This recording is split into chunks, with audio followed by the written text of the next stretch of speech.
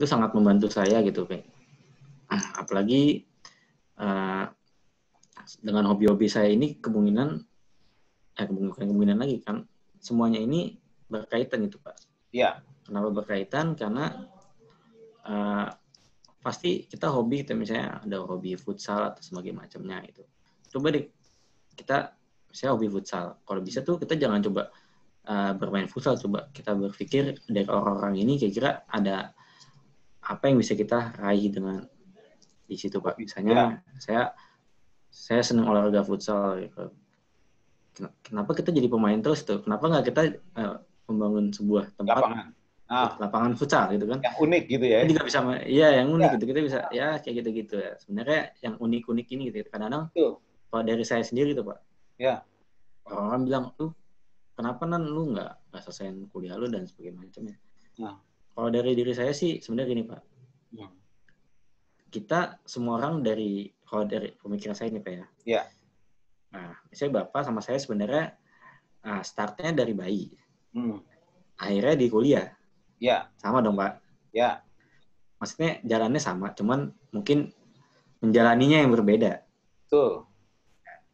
Kamu pernah nah, saya ini ya saya ini langsung kayak kadang-kadang tuh saya mikir kalau misalnya saya mengikuti orang terus Pak, misalnya nih kayak kemarin saya di UMN sudah ketinggalan terus saya hmm. pergi eh pindah kuliah lagi uh, dan nggak nggak berhasil juga ketinggalan lagi pak hmm.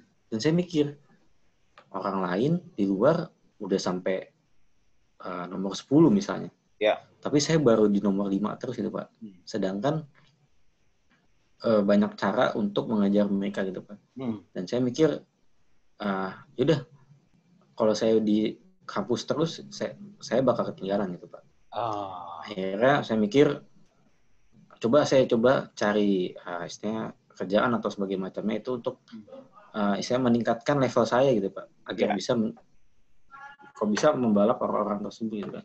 Yeah. Nah itu yang menjadi motivasi motivasi saya gitu pak. Ya istilahnya kalau kasarnya kita harus jadi orang gila dulu gitu pak. Betul. Karena tapi portofolio kita, gitu ya. iya, yeah. jangan jangan yang lain. Iya. Giranya mikir ya udah saya portofolio yang keren ya. Iya, karena kalau misalnya saya ngikutin jejak orang misalnya kuliah dulu lulus dan saya ini dulu baru membangun sebuah relasi. Ah, itu mah sebenarnya udah salah sebenarnya, Pak. Hmm. Kenapa nggak dari sebelum kita memulainya, tetapi kita sudah sudah mempersiapkannya gitu, Pak. Karena kan kalau sebelum memulai, kayak kita mau mulai sebuah balapan aja, kita harus mempersiapkan. Kita mau olahraga aja atau kita mau uh, Zoom meeting ini kita harus siap-siap dulu Pak ya. Iya. earphone dulu dan sebagainya. Betul.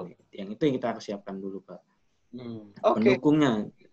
Menarik Adnan. Di bagian ini uh, uh, ada kesimpulan luar biasa yang kamu bilang.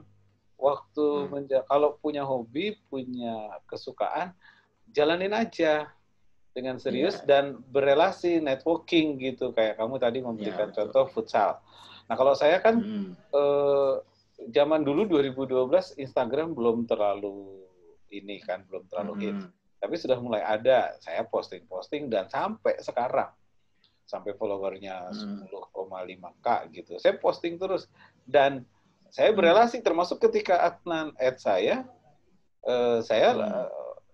Cuma waktu itu kan kamu di private jadi saya belum bisa tapi ketika hmm. kamu chat saya di DM saya balas saya oh ternyata kita berhubungan dan berelasi. Oh, akhirnya timbullah wawancara ini dan jadi tayangan nanti untuk di YouTube. Itu itu akibat eh, kita berelasi. Kalau dalam Islam kan silaturahmi. Jadi Adnan, ah, ya, betul Pak. Seru banget ini kalau kita mau terusin. Tapi anyway sudah banyak yang bisa diambil untuk uh, para adik-adik kamu, siapa pun yang melihat video ini bahwa hmm.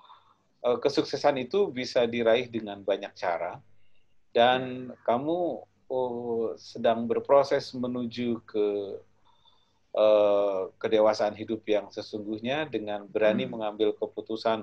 Dari mulai keputusan ngoprek komputer sampai komputernya rusak, keputusan bersekolah di penerbangan yang maaf tahun itu kan Adnan tahulah masih tanda kutip. Tapi Adnan bisa selamat sampai uh, lulus padahal badan yeah. Adnan kan kecil gitu. Tapi tentunya kamu punya cara untuk ya, uh, gue kan mau sekolah, bukan mau gitu-gitu. Apalagi gue punya uh, skill lain, punya hobi lain yang ya ini gue sekedar sekolah, mungkin memenuhi harapan orang tua dan sekedar punya jasa hmm. atau apa. Tapi anyway, kamu udah selesaikan. Uh, soal yang di pendidikan tinggi ini memang opsional kalau nanti kamu hmm. mau kuliah lagi sebentar juga empat tahun, apalagi kalau kamu ke luar negeri misalnya lima tahun sudah magister hmm. gitu loh sambil nanti kerja misalnya itu itu mah gampang lah tapi portofolio kamu sudah sangat luar biasa sebagai alumni SMK 29 penerbangan. Dulu kamu EI ya, Adnan jurusannya ya? Iya, saya elektronika industri. Ya, jadi eh, saya happy banget hari ini bisa ngobrol sama kamu dan saya terima kasih kamu berkenan untuk diwawancara. Kamu izinkan kalau ini saya upload ke YouTube kan? Boleh Pak. Thank you. Enggak, saya upload juga di IG. Iya boleh. Kalau ini jangan. Tapi kalau kamu ini terima kasih untuk ya promosi lah SMK 29 dan promosi anak SMK juga promosi Adnan. Pasti Bapak Ibu kamu bangga, apalagi tahu Pak Dedi yang wawancara kamu. Baik. Iya. Ada lagi yang mau Adnan sampaikan sebelum saya tutup? Hmm, intinya jangan pernah takut men mencoba, Pak. Ya. Kalau kita nggak coba, kita nggak pernah tahu akibat dan uh, pengalaman dari situ tuh pasti banyak, Pak.